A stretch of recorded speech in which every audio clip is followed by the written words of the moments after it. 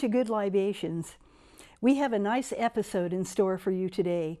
As you know, this is our show that deals with making truly fine cocktails and hopefully unique cocktails.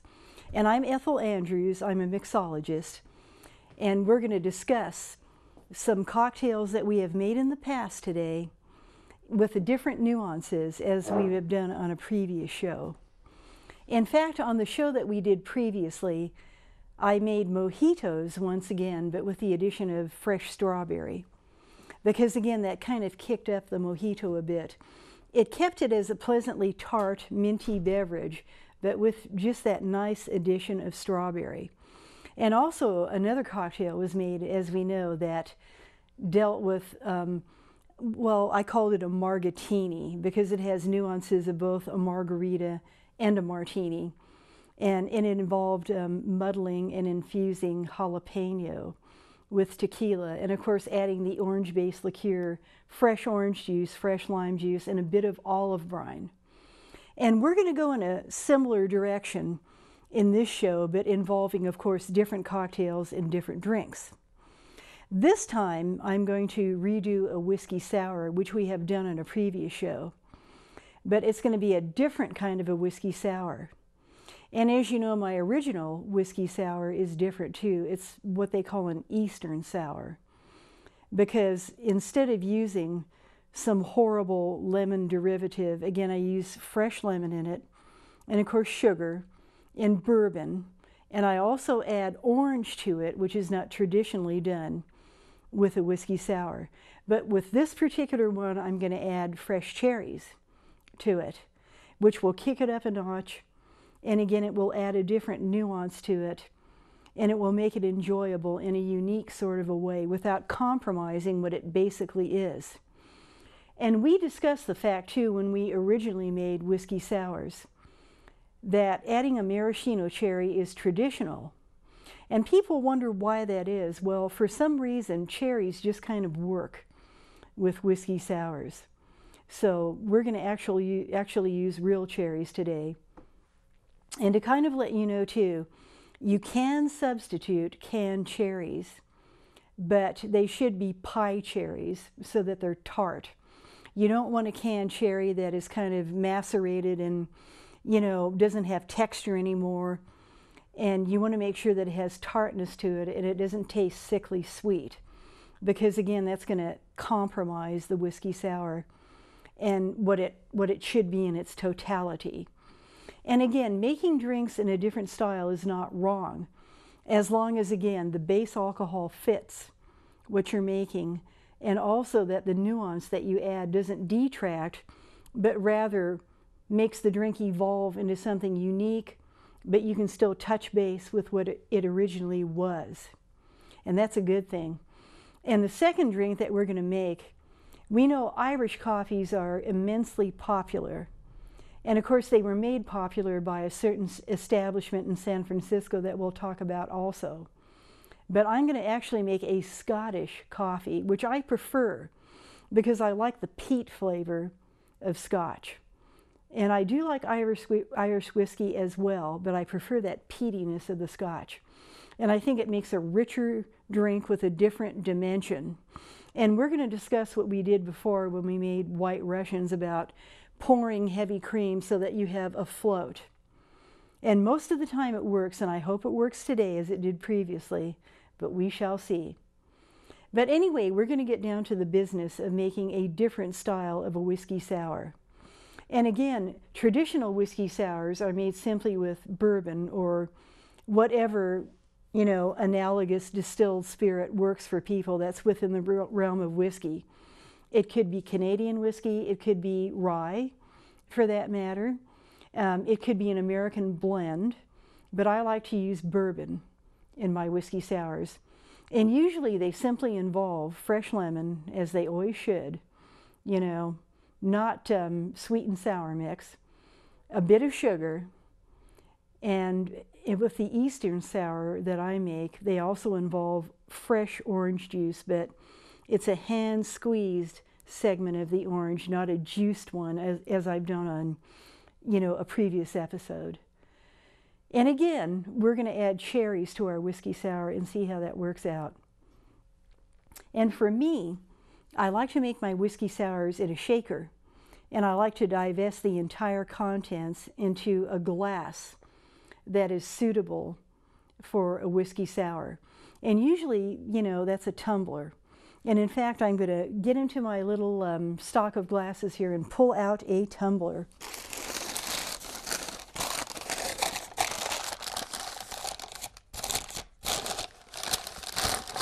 Well, I actually pulled out the coffee, you know, glass first of all.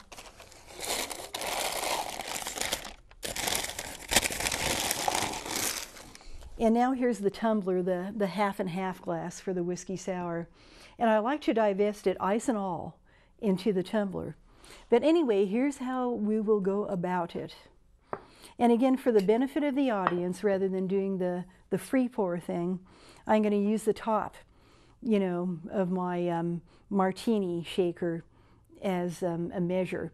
And this is such a nice style martini shaker for that very reason, because you can use the top to measure the alcohol and the other ingredients also. At any rate, we're going to add the bourbon. And we'll add it in the amount of um, the entire shaker top. And at this point in time, just so we're careful, I'm going to add the ice.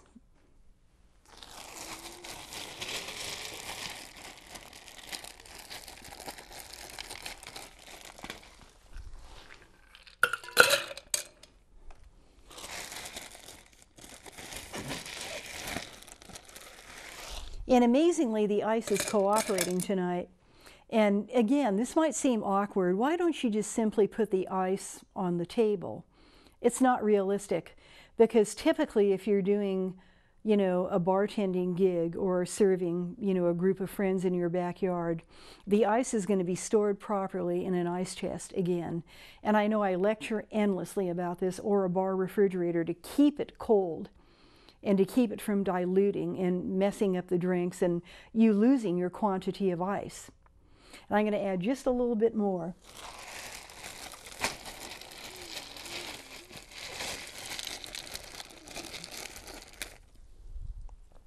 And again, mixology has its awkward moments.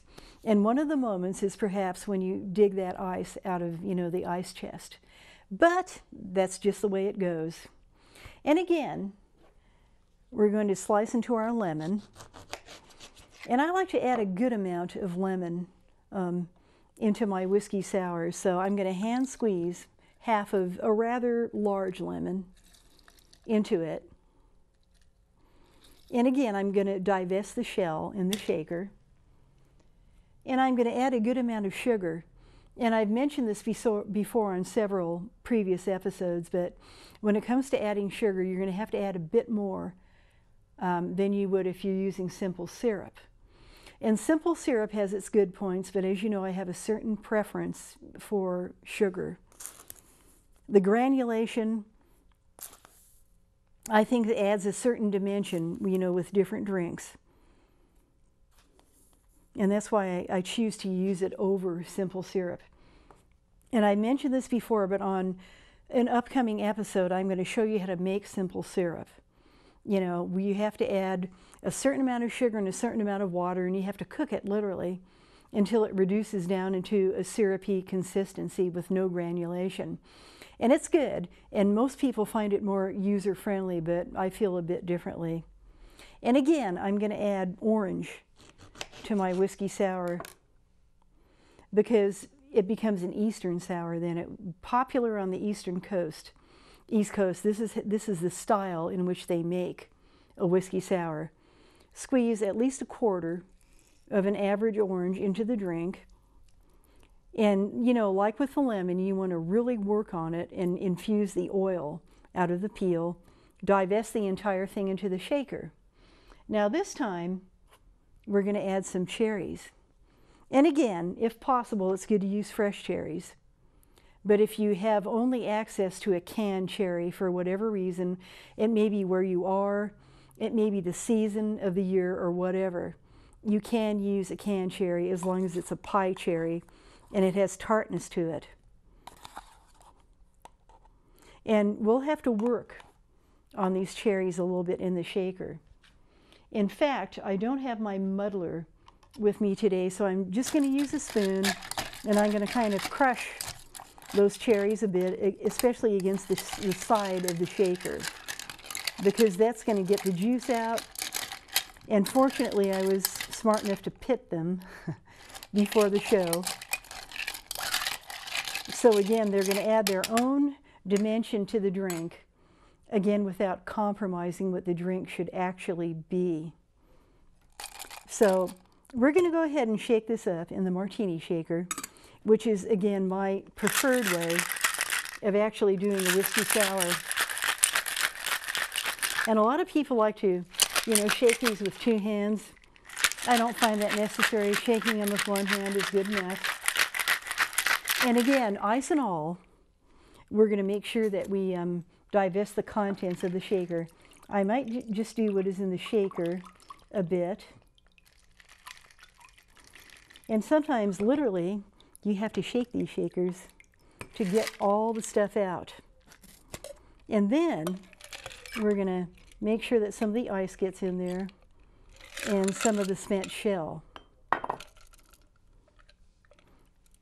going to have to actually drink a little bit off of this.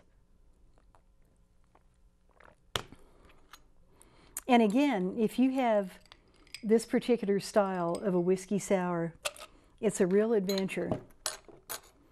And what I might do in this case, because the spent shell was a bit awkward, is add a bit of lemon. And again, add a bit of orange, and these act as garnishes also. And when you squeeze them, again, you're working that oil out of the peel. And again, you have a unique whiskey sour. It has a different sort of a hue because of the cherry. And it has a different sort of a taste. But the taste, again, is really unique and really good. It blends with the bourbon. It actually is suitable to use with a whiskey sour. And it produces a drink that is slightly different with a different dimension. So again, that's, that's another variant of a whiskey sour that you can make.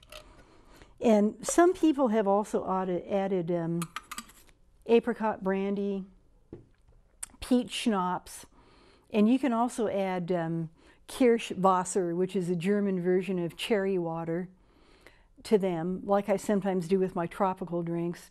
There's many things that you can do to kind of kick up a whiskey sour and make it your own signature drink. And don't be afraid to do things like that either. And again, there's always the caution of making sure that it fits the base liquor. But by the same token, be adventurous, go beyond what people typically do, and you will find that you're making drinks that people really enjoy and are different, and you're putting your signature on them. This is your drink. That's how, you know, mixologists even work in upscale establishments, is they're not afraid to look beyond the norm, we'll put it that way, or the average, and to add those nuances to the drink. So think the same way. You know, think as you do. If you really enjoy cooking, as an example, in creating different sorts of dishes, typically as years go on, the more confidence you get. You're going to put your own spices, your own flourishes in that particular signature dish that you make, and people really enjoy that. And it becomes a challenge for them too to figure out what's in there.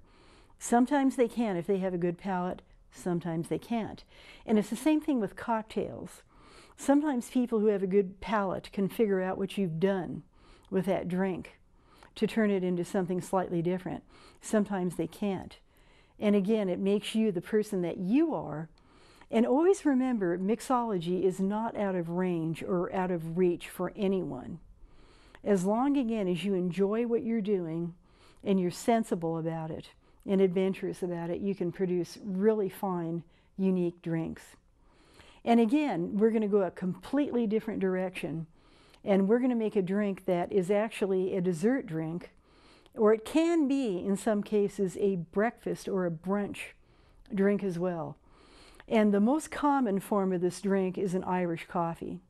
Now, there's Keoke coffees also, which involve brandy and rum and other ingredients, and those are worthy drinks. I love them.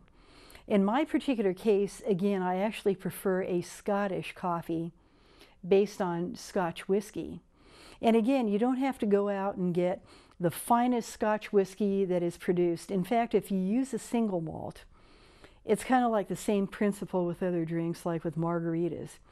You could use, you know, a really, really fine tequila, but that is actually meant for sipping, and it's not going to necessarily make a really good margarita. The same principle with Scottish coffees and Irish coffees. It's not wise to use a single malt scotch. It's actually, it, it shows more wisdom to use a scotch that is quality, but one that is not out of reach of most people. And the flavor, again, that accompanies that drink is good. And it might seem, well, why even bother making this on the air? Because actually, all you're doing is making coffee, adding sugar, and adding, you know, the liquor, whatever it may be, whether it be Irish coffee, bourbon, or scotch, or Canadian whiskey for that matter, or the Keoke coffee, the brandy and the rum and the other ingredients. But there's more to it than meets the eye. There's certain steps that we have to go through to ensure that this drink is really going to be top quality. And I'm going to say one thing from the get-go. Do not use aerosol so-called whipped cream. I mean, that is like using Cheez Whiz in a dish that requires brie or extra sharp cheddar. You're using cheap ingredients and they're going to compromise and destroy the basic principle behind what you're making. That's why I insist on using heavy cream. And you can pre-whip the heavy cream to a certain degree to ensure that you're going to get, you know, a line of demarcation and it's not going to work its way into the drink. But I prefer to do the old-fashioned me method of pouring it over an inverted teaspoon. And again, it may work or it may not work. But we're going to demonstrate the steps that are necessary to make a truly good whiskey-based coffee. And first of all, we're going to have to get our coffee going. And one thing that is really important is we want to make strong coffee. So when we make it in a typical coffee maker, and you can do other things too. You can use a coffee press. You can use whatever method that you wish to to make good coffee. But you want to make sure that the coffee beans are fresh, basically, and you grind them yourself if possible. And you want to add a sufficient amount that you're going to have a strong cup of coffee. In fact, if you overdo, that's not going to be a problem. If you underdo with the coffee, again, you're going to have an insipid whiskey-based coffee, and you don't want that. So anyway, we're going to go ahead and put some water in here. Wherever I have hidden my water bottle. And by the way, this is not um, a water bottle that has um, sparkling water in it anymore. This is a water bottle that actually has regular water in it. But for, you know, the point of um, being able to um, transport your water easily. That's what we're going to do.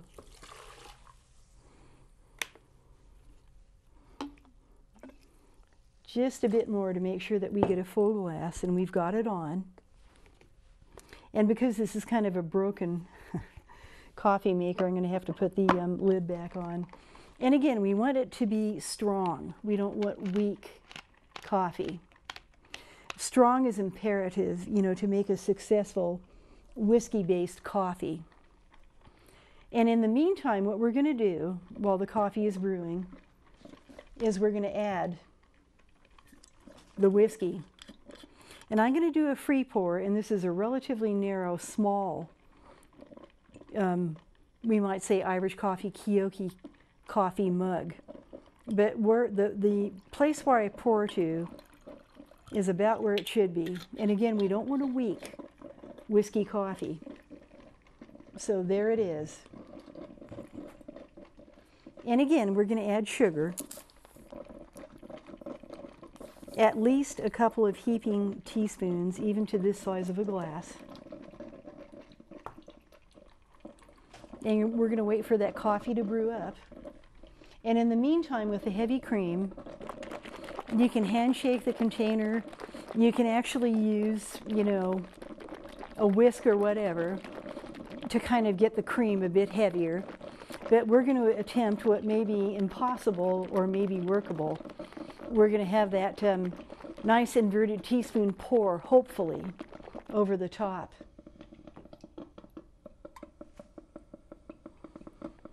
And again, we always want to make sure that our coffee is strong. And overdoing and adding a lot of grounds is actually a good principle to go by. Because otherwise, again, you're going to have a very insipid, you know, Irish, Scottish, or Keoke coffee or whatever. And you know, in some establishments, and I think with the American public in general, people tend to like Bailey's coffee and, you know, other milk based, for lack of a better term, um, beverages that involve those type of things. And they're fine, but they tend to be a little sickly sweet and they kind of um, defeat the purpose of what an Irish coffee or you know, a whiskey-based coffee is supposed to be all about. And incidentally, the Irish coffee, as legend goes, was concocted, at least on the West Coast, at the Buena Vista in San Francisco, which is a wonderful establishment. The food is good, the breakfasts are legendary. And the people that they have working there, I mean, they look like they're out of a movie set without the self conscious pretentiousness with a lot of people who are involved in show business.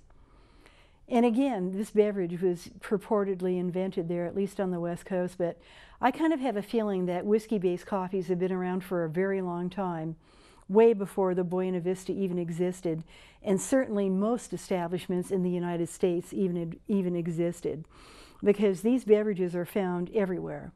They're ubiquitous in Europe. I mean, you could even go to South America or wherever, and you will find these beverages. But anyway, we want to pour in our coffee at this point in time, the strong coffee.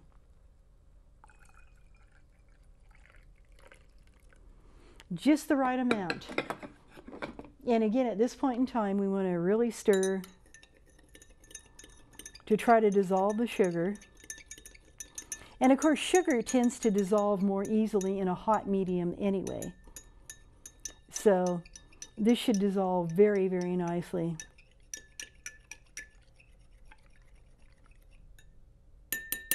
And now we're going to attempt what we hope is possible, but sometimes is not possible.